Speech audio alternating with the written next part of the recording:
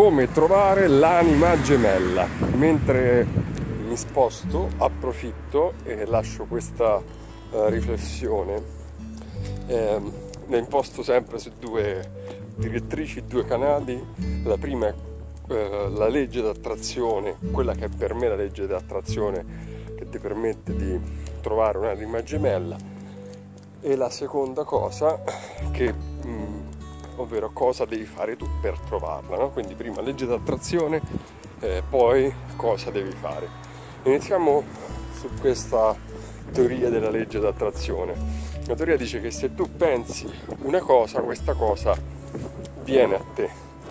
Io mh, mm, sono un pochino scettico su, su questa teoria, eh, per come è pensata, però una parte la condivido. Perché la condivido? Perché io credo che nel momento in cui tu desideri una cosa, ti concentri, quindi alzi le antenne e vedi tutti i pezzi del puzzle che ti permettono di creare questa cosa, no? Pensa, non so, le donne quando eh, vogliono rimanere incinta all'improvviso vedono eh, tutte donne eh, incinte per strada, oppure quando tu vuoi comprare una moto, vedi tutte le moto simili a quella che vuoi tu eh, per strada, perché? Perché semplicemente sei più attento, più interessato a quel determinato prodotto o servizio o persona. Questa per me è la legge d'attrazione ed è reale. Io durante i corsi faccio sempre un esperimento e puoi farlo anche tu adesso e ti dico eh, prova a concentrarti guarda attorno a te 10 secondi tutte le cose che vedi di colore bianco. Ok? Concentrati, guarda attorno a te, cerca di memorizzare tutte le cose di colore bianco che vedi. Ok?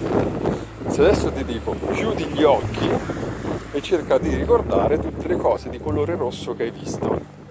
Ok?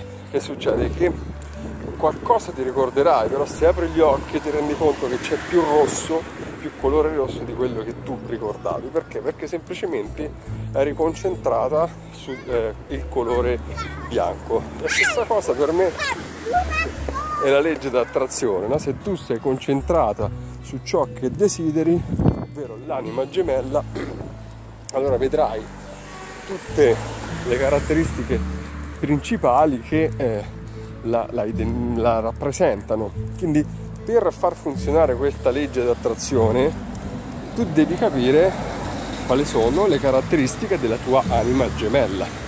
No? Questa è la dinamica. Quindi quello che devi fare è fare un elenco di quelle che sono le caratteristiche che deve avere questa persona che tu consideri l'anima gemella. Qual è la particolarità di questa persona? Che sia una persona onesta, sincera, che ti ami, che sia presente, no? Tutte quelle che sono secondo te le caratteristiche indispensabili. E poi ti chiedo di fare una cosa che chiedo spesso, ok, quante di queste caratteristiche eh, mm, fanno parte no, eh, de, della persona e quante sono, sei interessato nella persona e quanto ti interessi di cosa la persona.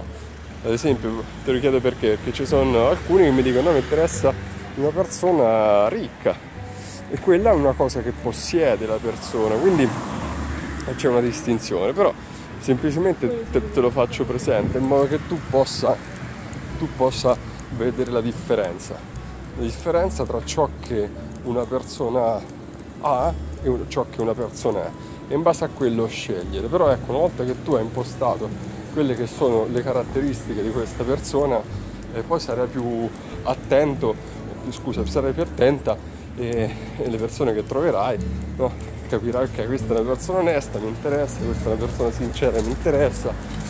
Quindi sono queste due dinamiche, sapere come funziona la legge d'attrazione, ovvero che tu ti concentri, vedi segnali, pezzi del puzzle su, su cose su cui hai alzato le antenne. La seconda cosa che funziona è capire quali sono i pezzi del puzzle che ti interessano. E l'ultima cosa che ti rimane di fare è passare all'azione, ovvero frequentare posti eh, che, che favoriscano la possibilità di incontrare persone nuove, non siano per forza posti reali, ci sono anche posti virtuali, però ecco, conoscere, metterti nelle condizioni di conoscere sempre nuove persone, perché altrimenti si rimane chiuso dentro casa, non ti dico che sia impossibile, ma diminuiscono le, le possibilità di successo. Tutto qua. Ok, se ti interessa avere la mia, raccontarmi la tua storia, clicca nel link in basso, la leggerò volentieri, ti lascerò anche un commento di risposta. Se vuoi lasciare un commento va benissimo. E per qualsiasi cosa noi ci sentiamo. Ciao!